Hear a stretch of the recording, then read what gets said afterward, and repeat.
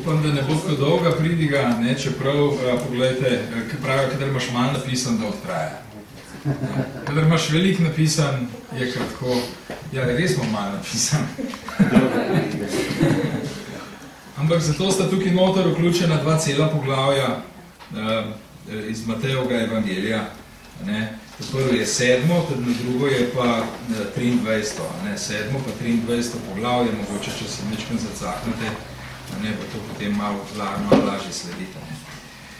Uh, jaz sem naslovil to pridigo, ne vem, če je naslov čista prav, ampak tako je učil Jezus. Vete, mi se zdaj pogovarjamo, kako naj učimo, poučujemo, kako imeti kontakt z bližnjimi in tako naprej, veste, ampak um, vse je fajn teorija, ne? Praksi pa stvar nekje se spremeni, vedno nas presenečajo se zdaj, za tiste ljudi, ki smo mislili, u, taj pa tok duhovni spade, total materialist, pol čez neki cajka, ki ga res poznamo, ne, un ta drug, ki izgledal pa total nek blefer, zavoženc, to, čist neki adijo, ne, bi rekel, pri nas v Ljubljani, ne, pa potem vidiš, da je človek iskrenega srca in duha in, ne vem, marad Boga, je čist iz drugega konca sveta. In potem se vprašaš, pa kako, kjeri so potem Božji, ne? komu potem sploh pričati, kako, to, kako je Jezus učil. Ne? Mi učenje povezujemo ponavad z uspehom. A je to res?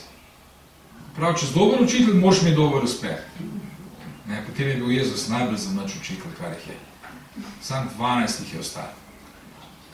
Pa še te je mogel vprašati, da hočete tudi vi hoditi. Je res ali ni res? Ja. Sem si kaj izmislil. Malo so želi sicer, ne, njegovi učenci, sadove njegovega dela, pa tako naprej. Ampak gre se za eno zadevo, ki jo danes v vse preveč pozabljamo. Veste?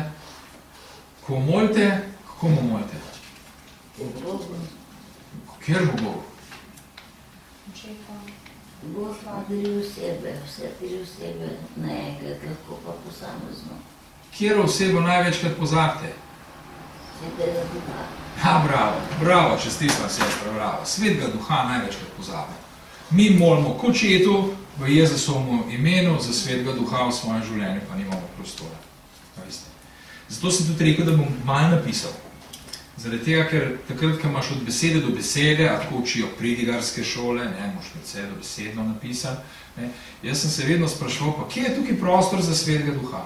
Kako pa on potem lahko spregovori po mojem srcu preko mene, če sem pa jaz poln? Eno, eno zgodbico, ne? Pred časom sem videl en film, kung fu varianta, znanstvena fantastika, poln mistike, glavni junak Jackie Chan. Ne? Veste, in še to, igral je pjanca, ne? za povrh vsega. Ampak bil je en učitelj kung fuja, ki je, ga je pil in on je svojo moč dobival iz pijače. Bolj se je nalival, bolj je bil dober.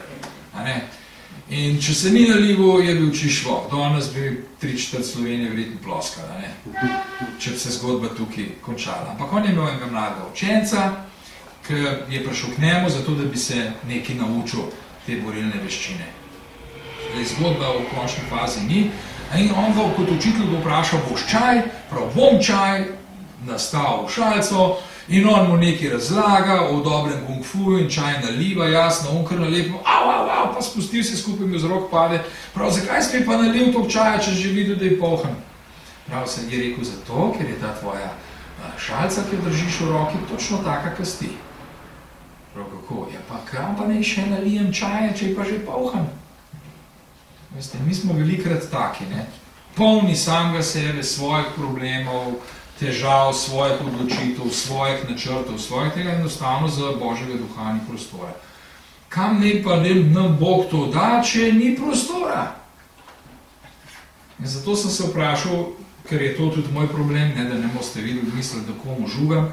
Ne, uh, v mojem življenju večkrat ni prostora za svetega duha, In posebej za učenje, jaz bi rad učil druge, ampak kako ne učim druge, če pa sveti duh ne more nekoga pripraviti. Ne pomen, ker se jaz ne pustim vplivati, da bi name, mene na nek način spremenil in obdelal tako, da bi moje učenje bilo sprejemljivo za ljudi okrog mene. Ne? E, namreč, kaj me je spodbudil k tem razmišljanju? Ena najbolj grdih in banalnih zadev, tista zapoved, proti kateri vsi grešimo. Upravljanje. A ne? Zakaj upravljanje? Zdaj, ker sem to katastrofalnih pridig v zadnjem času slišal, da sem rekel, pa kaj mi, kje je duh, ne? Ko odidem z tega prostora, prazen. In potem se moram zatekati k tistim, a veste, mašilom, ki ga z rukava streseš, no ja, bom še enkrat svet pisem prebral, pa pogledal, kaj za ne tekste pa si bom svojo pridgo tleno autograf ustvaril. Ampak jaz sem prišel v službi Božji, da poslušam sporočilo, kaj mi duh sporoča. Če pa tukaj gor stoji en junc, a ne, ne moram temu drugače reči, ki polhen samega sebe za duha, ni prostora, meni nič ni prinesel. In odidem domov žal prazen. Potem se pa vprašam, pa kakšen smisel pa ima to? In veste, rekel sem, gremo na izvir, a ne tam, kjer se lahko naučimo. Vprašati se, kaj, kako je Jezus učil, zakaj so njega poslušali. Zakaj so za njega prva vrsta, ki bi jo rad, a ne, Mateoš 7.29 pravi tako, zakaj učil jih je, kakor kdo, kdor ima oblast, a ne kakor njih pismari. Kako pa je to, kakor nekdo, ki ima oblast? Kako tak uči? Kako to zgleda? Ni se mu treba bati nobenega, ki, kateremu bo ugajal ali pa ne bo ugajal. Se pravi, On je oblast. ni vprašanje tega, kakšno je vaše mnenje o tem, kar vam jaz imam povedati. Je to res? Če jaz učim po Bogu, če je Jezus, kot bi Jezus učil po Bogu, če je vse prav, potem se jaz nimam česa bati. Tudi vaša reakcija ne. Lahko je dobra ali slaba, vaša je. Ne? Vi gledajte, a veste, kako boste z resnico sami opravili. Če je resnica. Če ni resnica, potem pa velja Pavlov nauk, ki pravi, da so verejci bili blažji od Solunčanov, ker so vsak dan preiskovali besedo, če je temu, kar je Pavel učil, res tako. Ne? Naslednja verzija Pavlova je bila ta, da je rekel, poglejte, ne, ne samo to, da so preiskovali pisma in so bili zaradi tega kakšni blažji, bolj blagi, bolj mili, bolj prizanesljivi, bolj človeški, manj na eksitotoksinih, ne, kot sem zadnje čase poslušal, manj na Coca-Coli, um, vegeti, uh, plam, plam, pa ne vem, no, vseh teh uh, blaznih dodatkov, ki naredijo hrano dobro, v bistvu pa škodijo na, na nek način. Poglejte, uh, z Duhom Božjim je njegova bistvena lastnost ta, da nam da mir v našem življenju, ne glede na okoliščine, ki nam jih življenje pripelje. Rad bi povedal eno zadevo. V Ljubljani imamo sestro Ireno, mogoče mnogi jo poznate, ki je zelo zgovorna in zelo rada pove svoje izkušnje. No, poln izkušnja, a veste. Ne? In se ji kar naprej nekaj dogaja. Ampak ta ženska je v življenju izgubila čisto vse. Veste, vse.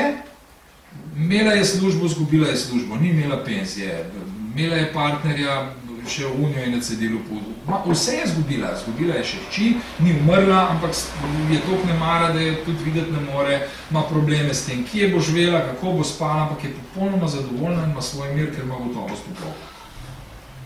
To danes. Včasih si jaz zamišljam, jaz bi pa reče to, pa on, pa tret, ne, in nimam gotovosti v Bogu, um, zaradi tega, ker želim neke stvari, ki jih mogoče Bog meni sploh namenil. To je velik problem, kako zdaj s tem rešiti, veste. V tem sedmem poglavju a ne, Matejovega evangelija Jezus daje cel kup naukov, kako je Jezus učil. A ne. Najprej prav ne sodite, a ne tam v, na začetku. A ne. Potem v tisti prvi vrsti, potem v šesti vrsti nadaljuje, ne dajete svetega psom in svinja, ne, biserov. Ne.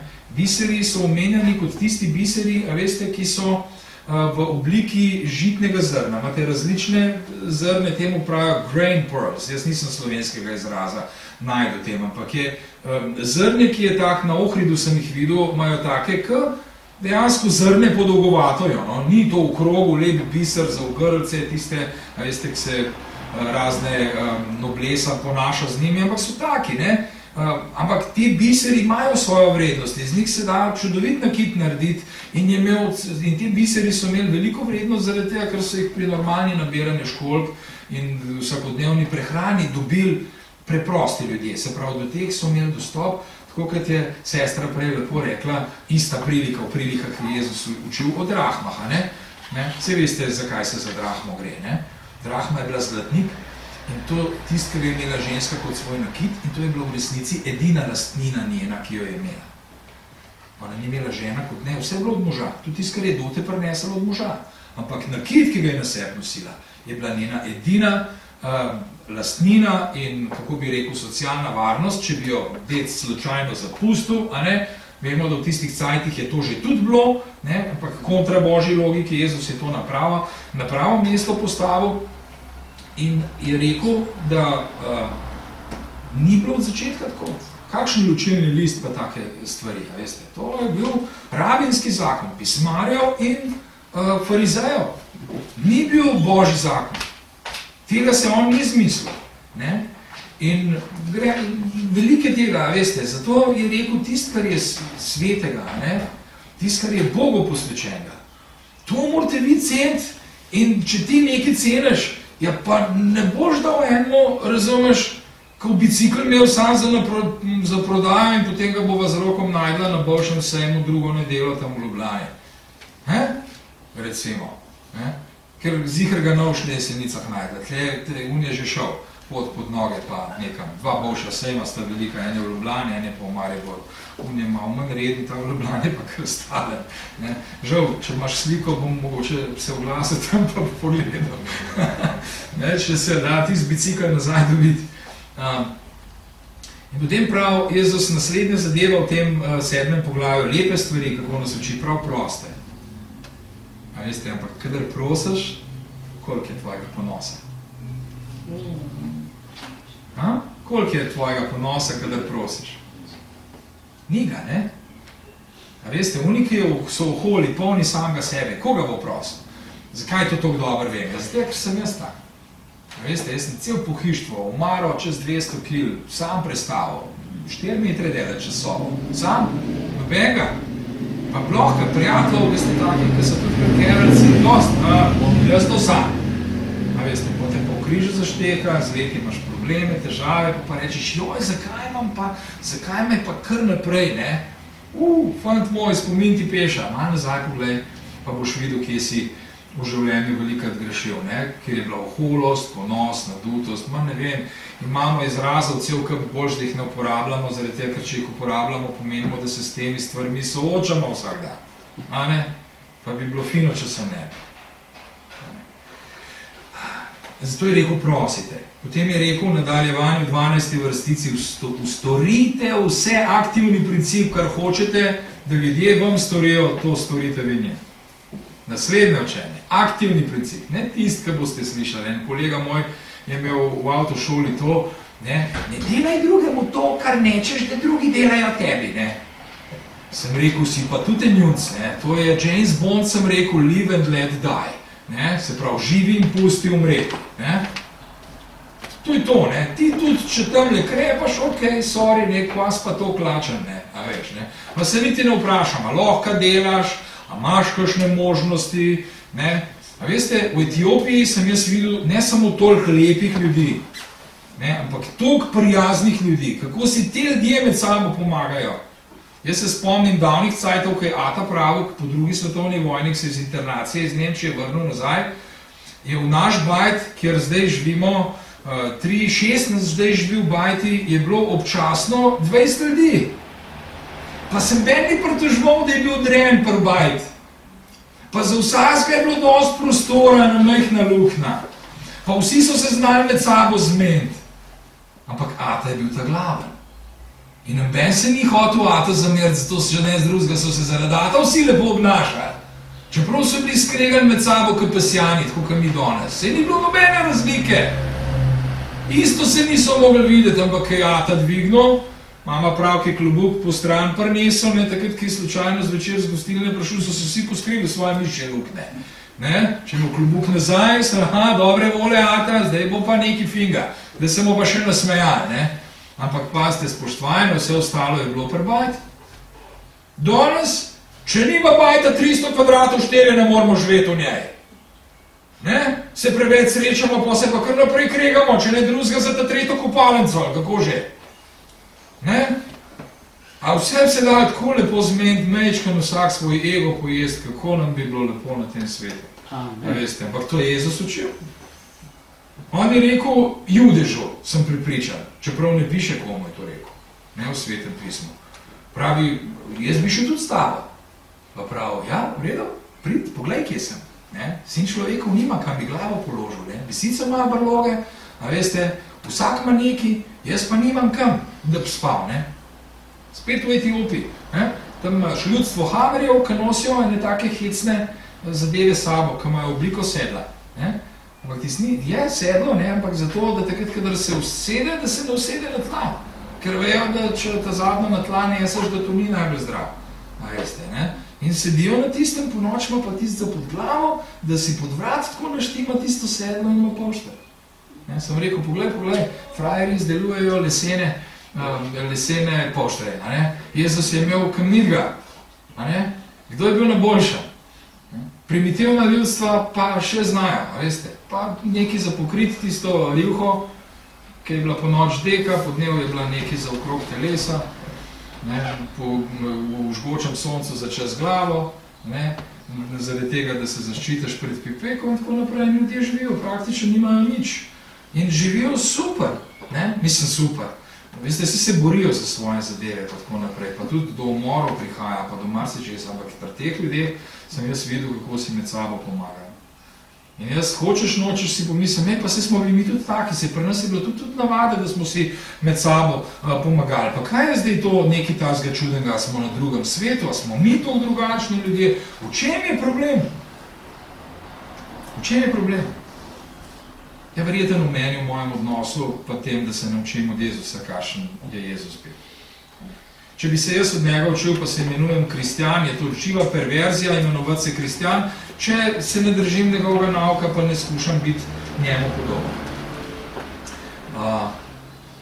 In potem pravi Jezus, ne, naslednji nauk prav, pojdite noter, skozi tesna vrata.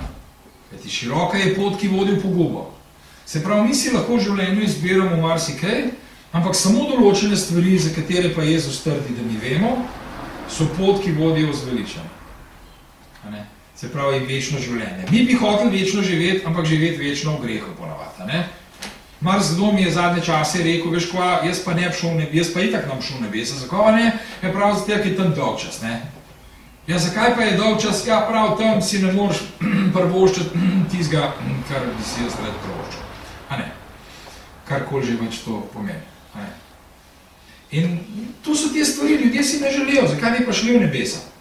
Ampak veste kaj, ko Jezus pride, je rekel, da se bodo čisto vsi poskrili v mišje lukne, pa pod zemljo, kukor globok se bo dal, zaradi tega, ker se bodo tega ustrašali. Vsak bi rad živo, pa bi rad živo večno, ampak v grehu. Ne? In potem me je en prijatelj me enkrat vprašal, na zadnje je rekel, ja, pa zakaj tega ne more tam gor biti, ne? Jaz sem rekel, zaradi tega, ker Bog spoštuje, da tist, kar je moje, ne more biti tudi tvoje. Pa tudi, če je to moj intimen odnos z eno osebo, je to moj odnos s to osebo in je moj odnos z Bogom, ti imaš pa lahko svojega. Ampak ne moreš si pa mojega lastiti. In če se tega principa ne moreš že tle na tem svet držati, se ga tudi gor ne boš držal, zaradi tega te ne bo. Ne? Ker ti praviš, da je to dolg čas. Jaz pa pravim, ti pojma nimaš kaj, kakšno širino bomo dobili, kam gor prišli, in si se tebi niti sajna nekaj to sploh ponuja, kaj pa je večnost? Ajde, ne mi eden tlele pošteno med vami definira pojem večnosti. Kaj je večnost? Večnost je trajanje, ki nikoli ne mine. Je dobro nakladanje, ampak kaj to pomeni v resnici, se nimamo nobene izkušnje. Me ne zanima konkretno, da mi jo zapošlatati večnost. Mi v tem v resnici ne vemo nič, če smo čist pošteni, kaj večnost ne bi bila. Mi imamo želje velike, jaz bi to, pa um, pa tret, ampak večnosti si ne prešparamo. Koliko milijard boste prešparali, če prešparate v večnosti vsak let sam evro, en evro? Ja, mislim, ne, boste bogatejši od Bila Gatesa, kaj zdaj, ne, ampak en evro na let je to velik. Ni velik en evro na let. Ne? Mislim, to je ena taka prispodoba, ampak ni to pravo, zaradi tega, ker je plehka.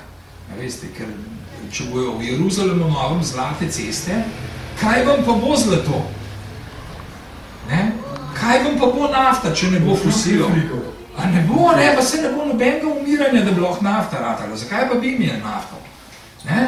Če boš pa lahko laufu kaj jelen, ne?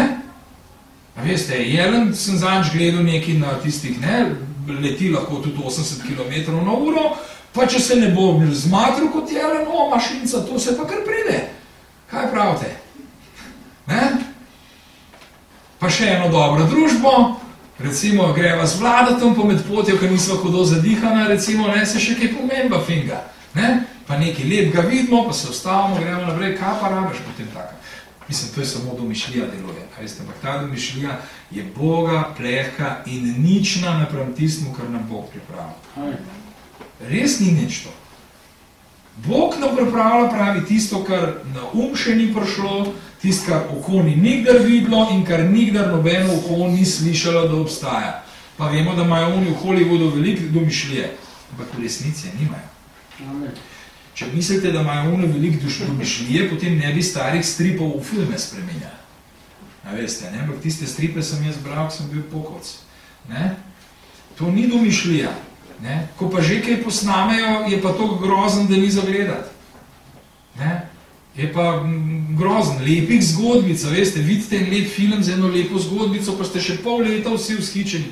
Ah, koliko je bil lep film. A veste, ne? Kaj, če bi eno od teh lepih zgodb uh, živeli mi v svojem življenju? Ne bi bilo to film. Teh lepih zgodb. Ampak nič drugega kot Jezusov vzgled. Um, potem pravi Jezus, varujte, varujte se blažnih prerokov, a ne? po sadovih jih spoznati. Mi lahko poslušamo, recimo od mene danes, zanimivo pridigo, nekaj potegnemo zase, ampak lahko lažem. Lahko si izmišljujem zadeve, moji sadovi v mojem življenju govorijo, da sem jaz toliko deleč od Boga, kukor se to sploh da biti.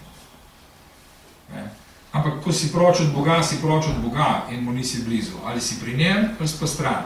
A veste, to je črno-belo, tisto, kar ljudje danes ne maramo. Mi bi sivo, barvno, obarvano, zamegljeno, a veste, ne, mama je imela pred časom operacijo, a ne, pa je videla meglen že, ne, potem so je zamenjali leče, a veste, v očeh in kar na lepem je videla jasno, ne, o, ne, pred leti se spomnim svoje, svoje sosede, ki je šla isto na operacijo sive mrene ki je prišla domov, vid Dušana, svojega soproga, ki je bil že tam čez 80 let star, pa ga pogleda pa prav, o, Dušan, a to klesti že star, ne, on pa, uf, a veste, ne, užaljen, vi smo dva dni se ni hotel z njo pogovarjati, to je bil žaljen, ne, ampak dejansko ona ga je prej skozi meglo videla gladkega, ne, pa je bila pa vsaka guba kot Grand Canyon, kar nalepama, veste, rekel jo vidiš, natančno in precizno, ne, ampak hej, človek je bil lep zaradi svoje starosti in tako naprej, kljub vsem, vsega ni imela zato noč manj rada, sem pač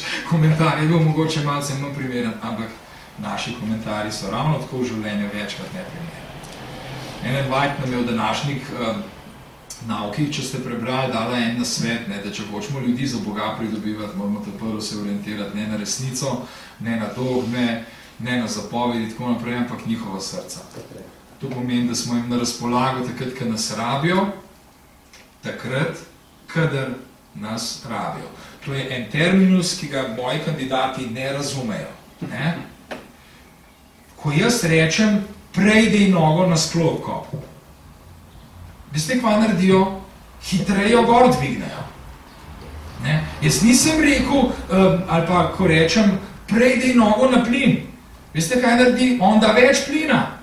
Jaz nisem govoril o kvantiteti, ampak o času, o tajmingu, o pravilno temperanem sosledici nekih dejanj.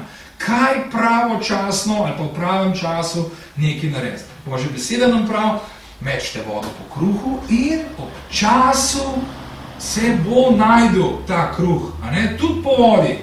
A bomo jaz ribe futro tam, ja, ne vem, mogoče pa odrim živo, a ne?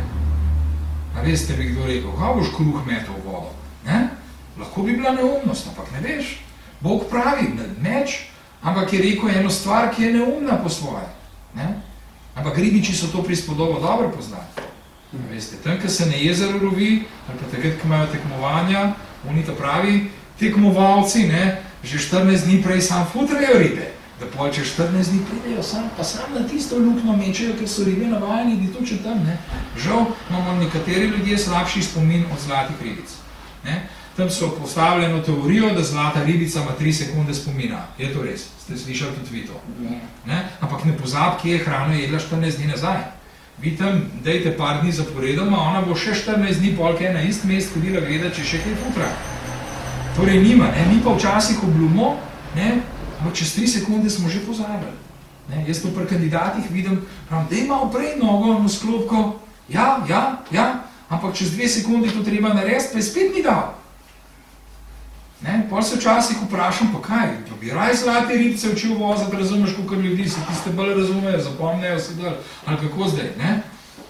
Pa veste, eh, ni to stvar spomina, ta človek ima čist perfekten spomin, če je en boljši učencev na Bežigrajski gimnaziji v Ljubljani, potem butl ni, ne? A je to, drži?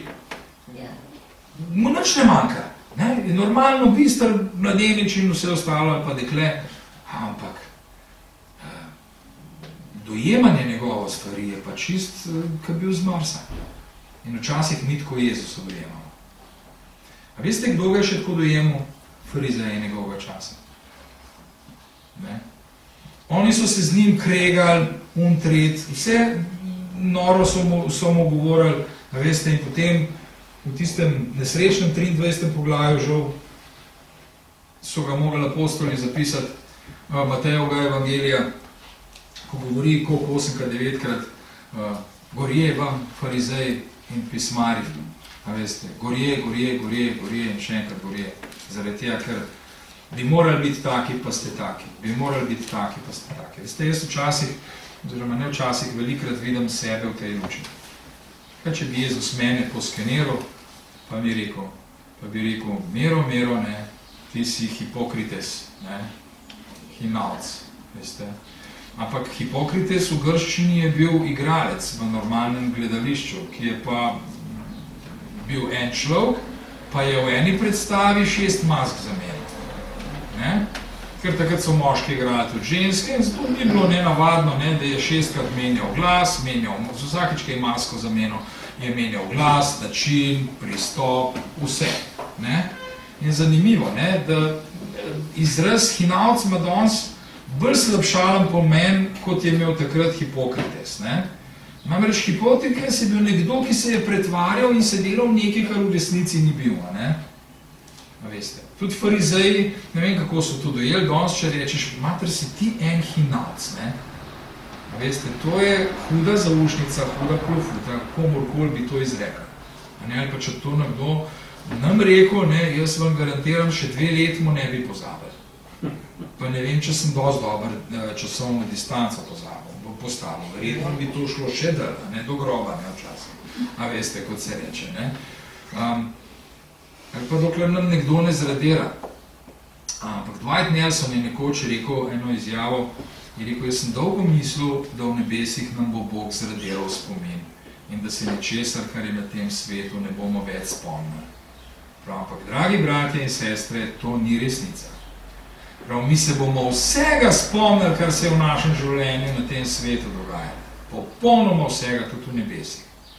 Ampak časa nam bo dal Bog dovolj, da bomo to prežvečali, odpustili in v končni fazi na nek način pozabili. To ne bo zradirano iz spomina, ampak, veste, jaz se v vojski, ki je bilo hudih stvari, se mi je veliko zgodil danes, ne spomnim več, ampak men, jaz nisem amnezije, jaz nisem presenilno dementen, kot se temu reče, ne? No, ali pa zdaj bi že lahko včas senilno, pravi, po 50 si že starostno pozabil, lahko, a ne? Kakorkoli se že temu reče, jaz nisem to pozabil, ampak enostavno se ne spomniš več, v spomninu ti ostane tistega, kar je prijetno, tisto, kar se čustveno sklada s tvojim življenjem in potem živiš v tej smeri naprej, ker tako je lahko lepo živeti, a ne? Če pa stalno se tistega spomnil, kam je on tam delal, ne? Pa se to ni za preživeti. Amen. Pa bil življenje, se velikrat je peko. Je, je. Zaradi tega, ker ne znamo pozabiti, ne znamo odpustiti, pa še marsikaj drugega ne znamo. Ampak tega nas ni Jezus učil.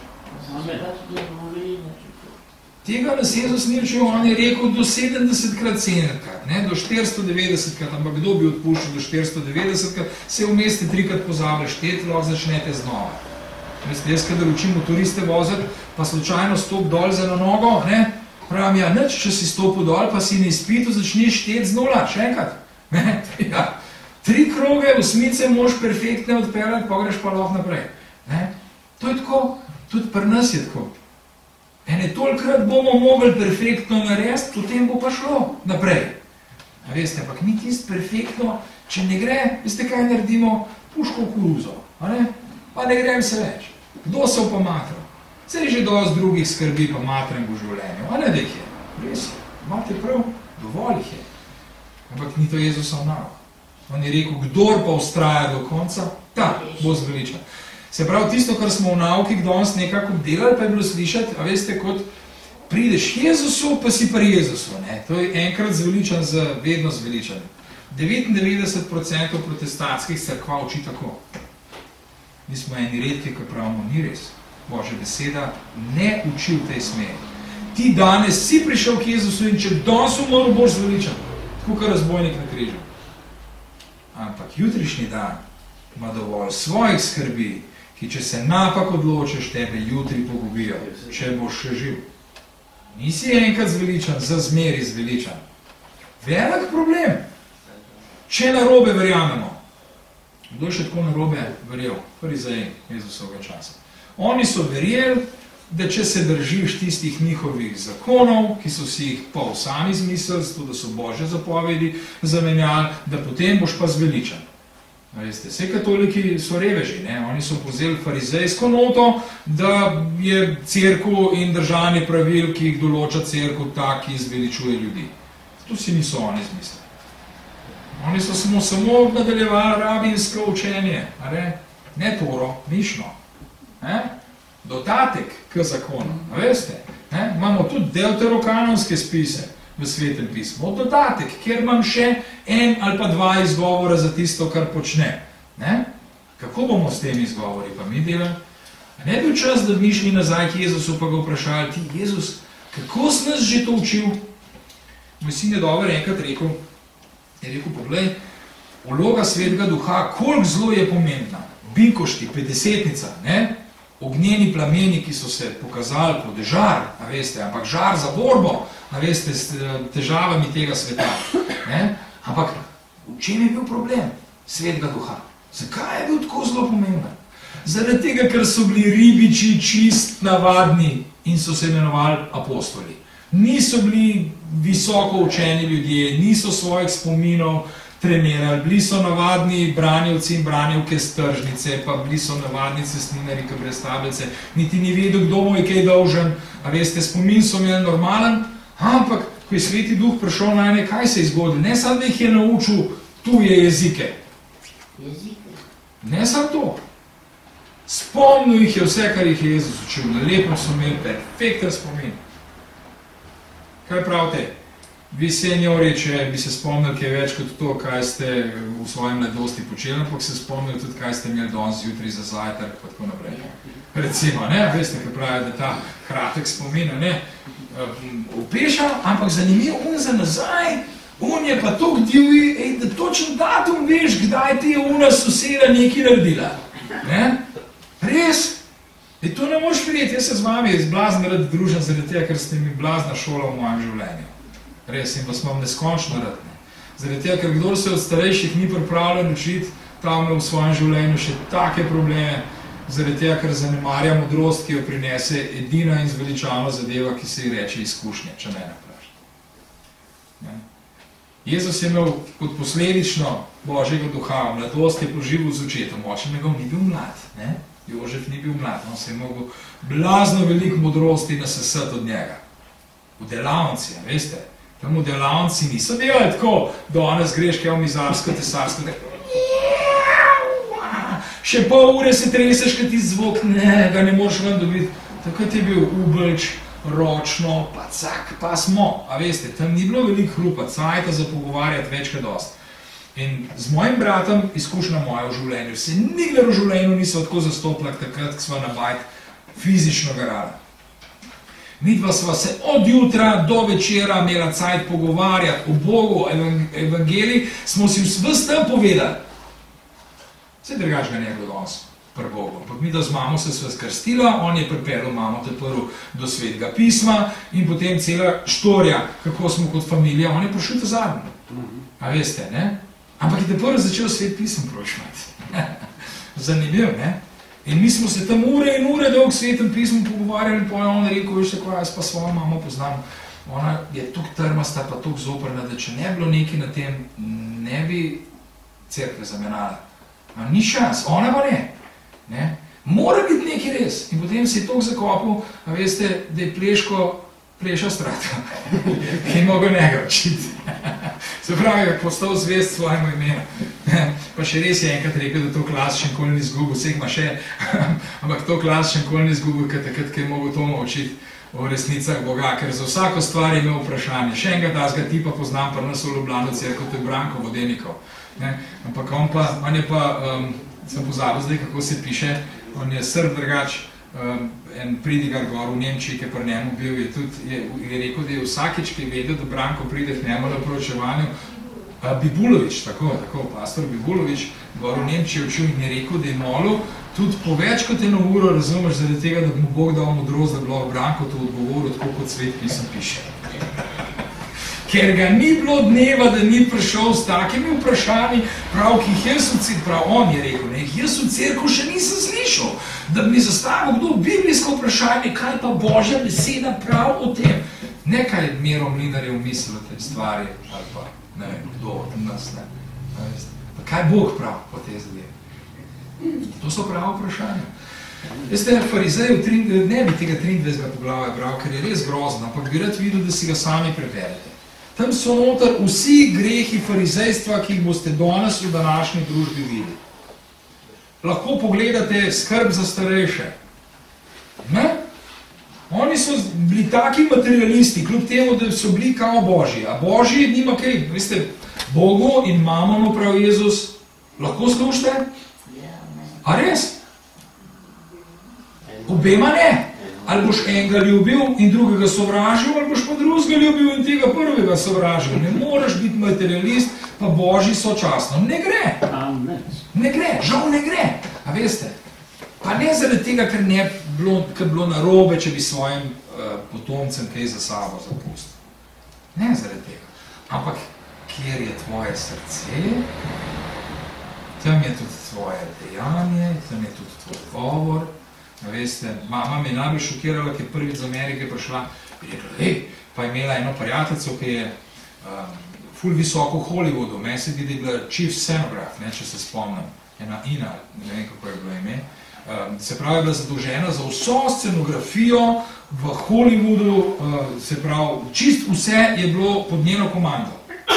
Ona je imela ogromen kondo, gor na vrh ene bajte z bazenom, z vsem živim, morala si je Porscheja kupiti zaradi tega, ker tisti njen avto za njen status ni bil dovolj dober in tako naprej, ampak ona je zjutraj, ne vem, da je v šestih se šla stroširati, zvečer v enajstih je domov prišla, pa šla pa še žurat ven in je bila v dveh zjutraj spala do štirih in spet.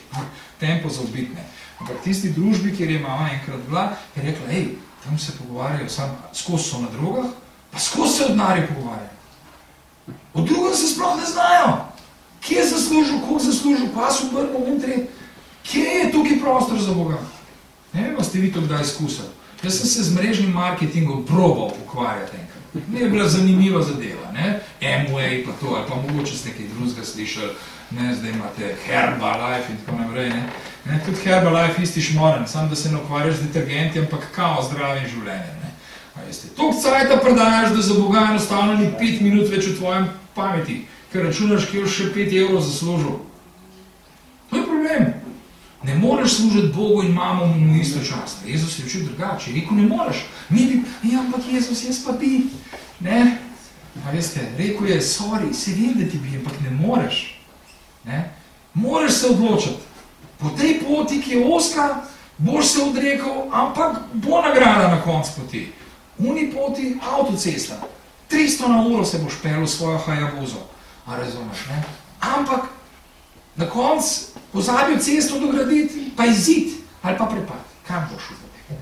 Ko prideš do konca s 300 na uro, veste, če ste se že kdaj, ne vem, ste se že kdaj tako hitro pelali. Jaz se 300 še lih nisem, 280 sem se že. Pri 160 na uro in več se vam zgodi en fenomen, da ne boste več vi po cesti, ampak je tako, kot po računalniku začne cesta proti vam voziti. Ja. Vam pride do tunelskega vida, zloža se pogled in na lepem vidite, kot da bi se cesta kot tepih pred vami odvijala. Veste? Ne, ne boste več vi po njej, ampak ona voz pod vami. Ne? In takrat vam zagotavlja, nimate nobene kontrole nad ničemer več. In tak je včasih naš življenje, kot je bil v farizejih, ko so rekli, a veste, je res tako pridbo povedal, ampak, če bomo mi njega poslušali, pol se bomo mogli svojim materialnem odreči. Odreči se bomo mogli svojemu statusu političnemu. Ne, tudi z rimskimi unimi se ne bomo mogli več tako pogovarjati, ker na lepem ne bo med nami več hierarhije, ampak bomo vsi bratje pa eno. Ne? In so rekli, veste kaj, ubit, pa je za ubit, konc debate. Je. Žal je tudi danes med nami tako. Nekdo, ki nam prej, ne, za ubit, Je. ne? In potem poslušamo o eksotoksinih, pravi, da lahko se, se tako začneš obnašati, tudi če naravne hrano ješ. Če imaš rad vegeto, recimo, katastrofa za možgane. Postajaš agresiven, pa si agresiven, brez da bi vedel, zakaj si agresiven. A veste, tako naprej, ne? So delali teste, pa vse poznajo, ampak ne bojo nič naredili, da bi kaj poboljšali zadevo, zato ker ni profit. Zdaj pa vi meni povejte, kako hočete biti mirni, blagi kristijani, empatični, ne? se pravi, da žalujete z žalujočimi, se smejite s tistimi, ki se veselijo in prvošti iskren, a ne, ne gorenska, ljubljanska pošilja, pardon, ne, a veste, a, da mu prvošaš doma, da mu prvošaš, da se mu je četrt otrok rodil, čeprav tvoja hči ne more zanositi in tako naprej, in da se iskreno veseliš z onim, veste, da znaš biti tudi žalosten, kadar je kdo res izgubil, ampak žalosten zaradi njega, ne da hinavaš, pa se delaš in mečka in tako naprej, če se pa filaš z napačnimi stvarmi. Ne gre. Tak, pa orientiran na avtocesto, se pravi na vse tisto, kar ta svet nudi, ne moreš biti. Ker praviš, unje moj pa oče umrl, pa pa pol, se je bil že star. Ne? To je danes en normalni izraz. Se Ja, un je pa uno, uno mamo svojo v dom za ustarele vtaknil. Je v redu, se to pa je, se je bila itak tako, kar naprej tečna. Ja, seveda je bila tečna, če se je bala že deset let prej, da bo sama ostala, pa da je ben niti obiskat na šel in je točno vedela, da čim pride v tisto hiralnico, razumeš, ne bo nobenega več okol in da, da, da, kako ne bo tečna. Vi, ker ste zaskrbljeni, kakšni ste? Jaz sem tečen že, če za jest ne dobim dovolj zgodi. od svoje, od svoje. A razumete? Če sem lačen, sem siten. Ne? Kaj še le, če bi imel hude skrbi, pa težave, pa probleme, pa tako naprej. A z leti pride? Hočeš, nočeš, a vsi se staramo. Jaz sem tudi mislil, da imam zmer 25, pa jih imam že 50 plus. Ne? Če ne bi otroci bili že toliko velik, mašinca se sploh vedel, ne vem, da sem že toliko star. Ne? Ampak meni so še zmer interesantni, kot ti taki mladi punce, pa to fest, a veš. Ne? Ampak, ko se v špegu pogledaš, praviš, kako si sil, ej, ha, poglej, koliko si že star. Ne? A se spomniš, kad bi bil 17 let, kaj si tako mu rekel? Ne? A veš, daj pa sam še za predjamski grad. Ne temu pravijo Trnovo, imamo v Ljubljani predjamski grad. No. Pa mi je en kandidat to enkrat rekel, pa sem rekel ti, čakaj, ni to tam prepostojni. Ne, ne, je rekel, v Trnovu je čisto. Prav, kjer pa je to? Ja, a veš, tam, kjer je stanovnik. Ne? Uuu, takrat mi je šele kapnil. Ne? To je dom za upokojence v Trnovu. Ne? Ampak je rekel, ja, sej tam, ko prideš v Ungrad, si lepo narejen, pa sam šel v jamo. Ne? To je predjamski grad. Ja, razumete? Ne? Ne? Greščina je prav, kako grad je prav, vse te streže in streže nazad. Kva pa še rad prav, kva pa v gradu so točno to delali. Sem rekel, kaj pa stežavniki, malo mal heca. Ampak ga veste, v resnici živimo v takem svetu, za katerega lahko, mislim, da vsi brez izjeme rečemo, ni mi všeč. Ampak živim na tem svetu, ker drugega nima. Vprašanje, ki pa bi rad, da si ga mi zastavimo v svojem življenju. Ali je možno, da moje življenje, tudi če imaš samo še 10 dni ali pa 14 dni pred sabo, je možno, da v teh 14 dni jaz naredim na tem svetu razliko? Je. Tudi če imam sam 14 dni še pred sabo. A je možno, da naredim v tem življenju razliko? Na kakšen način? Kakšne noceli. Takrat, da bom imel posledice v večnosti. Ne?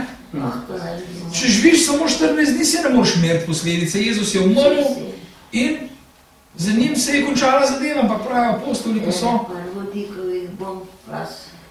Jaz sem premenjala vse doma.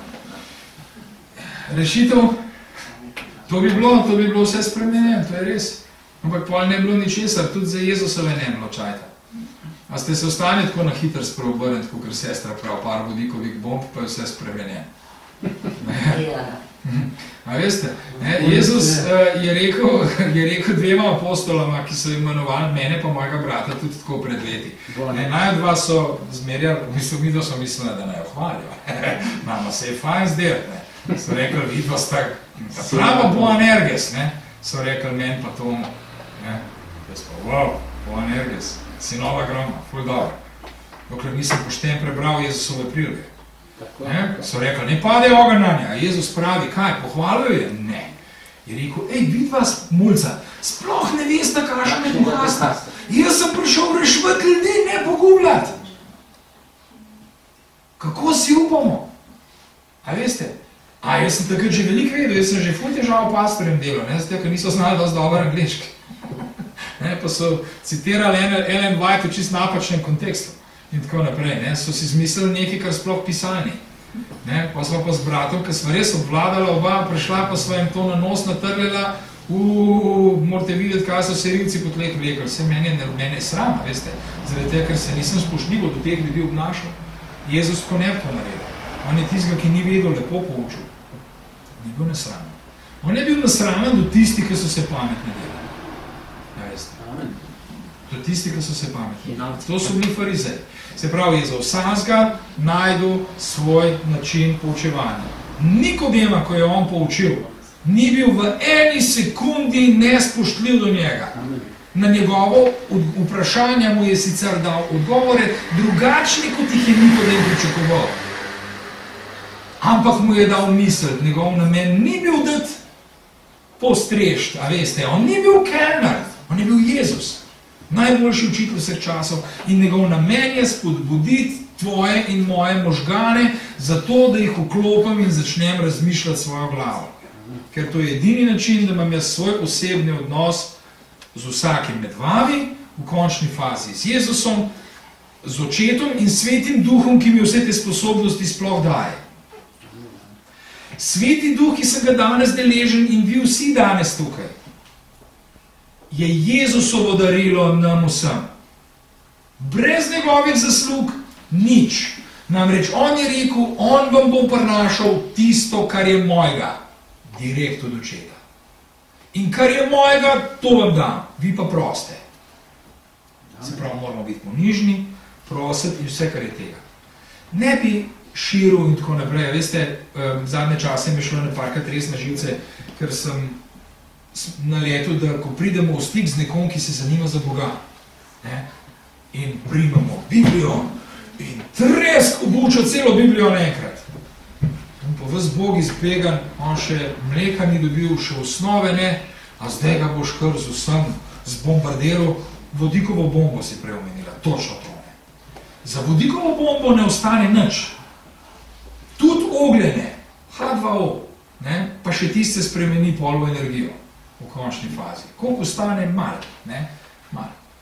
Zaradi tega, ker pri vodikovi bombi prihaja do enih, dobro, ne bomo zdaj v fiski, pustimo, do enih drugih stvari. Ne. Em, grozne posledice so zato je niti niso upali probati. Zaradi tega, ker je vse skrb drugač deluje, kot si človek misli. Ja, veste. A, tisto, kar je vodikova bomba v našem življenju, je to, da se želimo učiti od Jezusa. Zato vam na srce polagam, kot se polagam. Dajmo se učiti iz Biblije, dajmo vzpostaviti oseben odnos, dajmo pomagati svojim bližnjim. Najtežje je z bližnjimi. S tem, ki so okrog nas, familijo, z unimi, tam, če se ti upre, a veste, oni imajo, imajo vso vašo zgodovino za sabo. Točno vejo, kdaj smo žalo, kaj smo naredili, um tret za 56 tažot let nazaj, žal, nismo toliko stari, ne. Drugač bi bilo tega hodo veliko. Ne? Zaradi tega nismo čist kredibilni. Ampak dajmo svoje življenje spremeniti, nekaj narediti, kot si sestra rekla, na 14 dni je včas dovolj časa, da nekaj tako korenito v svojem življenju spremeniš, da bojo vsi to videli. In takrat smo potem, kot Pavel pravi, odprta knjiga Evangelija za naše bližnje. Ne rabijo nič slišati, rabijo nas videti in potem se bo tudi dotaknilo njihovih src. In mi dobimo zvezdo v nebesih, veste, na kroni, prav zvezdo, ne, za vsazga. In ena in pravi nebesih ne bo nobenega brez zvezd na kroni. Nikogar ne bo brez zvezdice. To pa pomeni, da imamo neki tudi obligacij, a ne, ne tist, ki je prej um, Jožika govoril, ki je rekel, dajmo planirati, planirati, planirati. Ja, probimo planirati, ampak z Božjim duhom. Ne? Bog je taki priprav srca, jaz jih ne morem. Jaz lahko povem resnico, ampak kdaj ste vi pripravljeni poslušati resnico? Takrat, ko me boste vprašali za njo. Kdaj ste pripravljeni sprejeti in nesti na svet domov? Takrat, kadar me boste prosili za njo. Da vam jaz pridem, pa vam natrljam tamle vaša ušesa gorenska, veste kaj, gorensko trmo predobro poznate. Kar sem rekel, sem rekel. To je cena, prva, zadnja in konc. Če nekaj prav, tamle je Ljubljana pa avtocesta. Ne? 45 minut pa stam, čeprav počas voziš. Je tako? A veste, gre se za te stvari, ki so hudo resne. Lahko jih mi na hecen način povemo. Ampak v bistvu so resne in se res dotikajo nas, našega osebnega odnosa z Jezusom, ampak tega in vseh darov bomo deležni po Božjem duhu. Zato, kadar molimo, ne pozabiti, v duhu moliti. Svet pisem jasno uči, da je tudi on oseba. A veste, če vi eno osebo ignorirate, a nima razloga za užaljenost? Ja. Če vas kdo ignorira, tudi vam ni prav. A ne? Dajmo se spomniti, da je sveti duh tudi oseba z vsemi lastnostmi, celo boljšimi, si jaz kdaj mislim, namreč zdaj ne mislim na to, ko Božja beseda pravi na enem mestu eno prekrasno zadevo, da nobena od mojih molitev pri Bogu ni sprejemljiva. Zaradi tega, ker jaz pojma nimam, kako Boga reči prositi in v vsaki besedi sem nespoštljiv. In Duh Božji spreminja mojo molitev tako, da jo oče lahko sliši. Zdaj izrečni listi. A si lahko to sploh predstavljate? Tam, ko jaz ne ene solze spustil, on to dela na mest mene. In jaz mu ne znam reči, ne hvala, niti prosim. A veste. In pa prošla pred Bogom je res, da ne zaradi mene, jaz sem ni tak nikako, veste, ampak zaradi Jezusovih zaslug, da smo slehrni med nami deležen Božjega duha. V Jezusovem imenu bi se mu zahvalil in tebi duh hvala za tega, ker nas vodiš. Amen. Amen. Amen.